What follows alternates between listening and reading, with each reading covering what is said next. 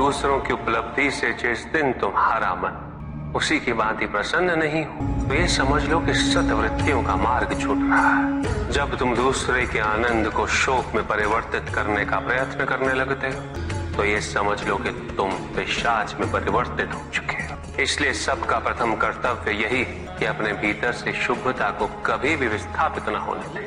क्योंकि शुभता और योग ही जो व्यक्ति को द्वेष ईर्षा और पैशाचिकता से मुक्त रखता है